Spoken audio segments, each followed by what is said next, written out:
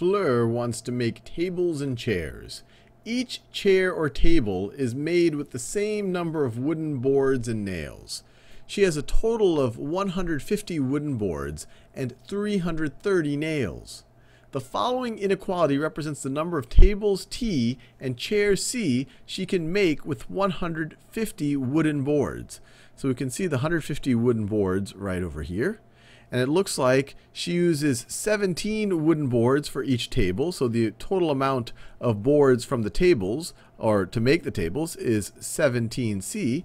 And it looks like she uses it looks like she uses six wooden boards for each chair, and that's why you take six per chair times the number of chairs. This is a total number of wooden boards she uses from the chairs. And if you add them together, it can't be any more than 150. She only has, I guess, 150 wooden boards. Additionally, the following inequality represents the number of tables and chairs she can make with 330 nails.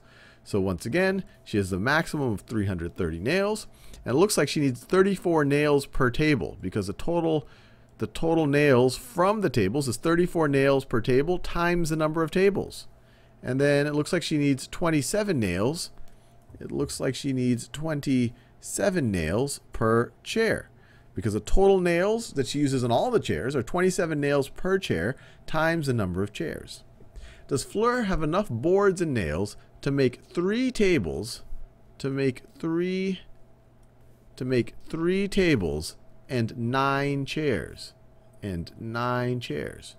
Well, let's see. Let's let's look at the, the number of boards. To make three tables and nine chairs, she's going to use 17 times t. In this case, it's 3 she's going to use 17 times 3 boards for the tables. And then she is going to use, she is going to use 6 times the number of chairs. So 6 times 9 chairs. 6 boards per chair times 9 chairs. So 6 times 9 is the number of boards she's going to use on the chairs. So this is going this is the same thing as 17 times 3 is 51. 51 plus 6 times 9 is 54. So this is 54. And what is this? Is this less than or equal to 150? Is that less than or equal to 150? Let's see, 51 plus 54 is going to be 105. So that indeed is less than or equal to 150. So that checks out. So she has more than enough boards. So she has enough boards. Let me write that. Enough boards. Now let's see if she has enough nails.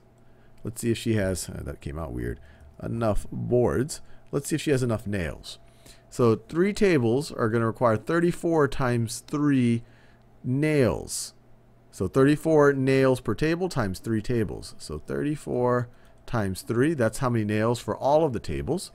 And then plus, plus, she is going to use 27 nails per chair times the 9 chairs. 27 times 9 and we need to figure out is this less than or equal to 330 so let's see. 34 times 3 that is what 100 no that's 90 90 plus 12 so that's 102 and then 27 times 9 so let's see that would be was that 243 yep. So plus 243. So it's 102 plus 243. Is that less than or equal to 330?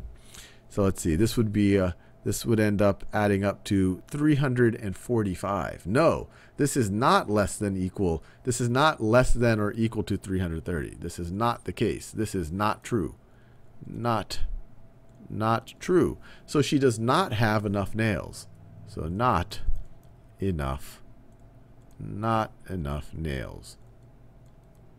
And so she has enough boards, but not enough nails. So unless she goes and buys some nails, she's not going to be able to make these tables and chairs.